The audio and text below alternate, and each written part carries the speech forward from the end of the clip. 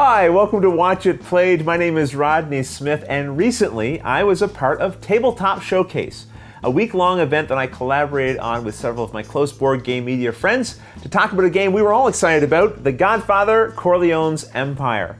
If you missed some or perhaps all of that content, you can find it at tabletopshowcase.com, and I'll put a link in the description of this video if you'd like to check it out. But during that week, we were also running a contest to give away three copies of The Godfather Corleone's Empire in partnership with CMON Games. So on my iPad here, I have all the people who entered, and right now we're going to randomly draw three winners. You know, one of my favorite things about drawing winners is that from this angle, I, I really can't actually see the names. Uh, our first winner is Daniel Shepard. There you go, Daniel. Congratulations.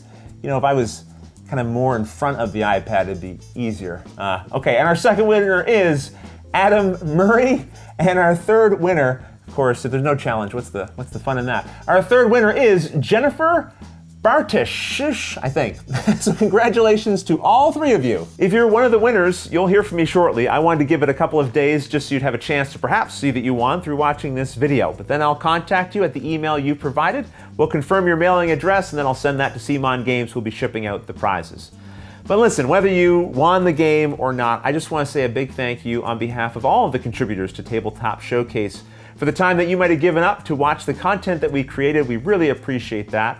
And we'll be doing these kind of features maybe once or twice a year. So we'll be on the lookout for the next game that gets all of us excited that we'd like to share with you. But until the next episode, thanks for watching.